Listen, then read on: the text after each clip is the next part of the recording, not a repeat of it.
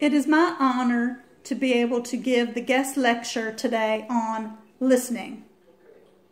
Active listening encourages the mentor to focus on what the mentee is saying and avoid directing them to a specific course of action. It is important to allow mentees to work out their own problems.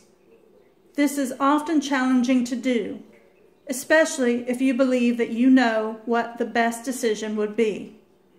But as individuals, we all need to arrive at our own ways to solve problems, even if they turn out to be wrong.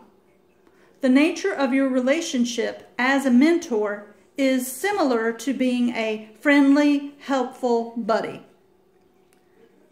With an awareness of your limitations as a mentor and a responsibility to direct mentees to professional support rather than trying to take on a not on a white horse role charging in to save the day.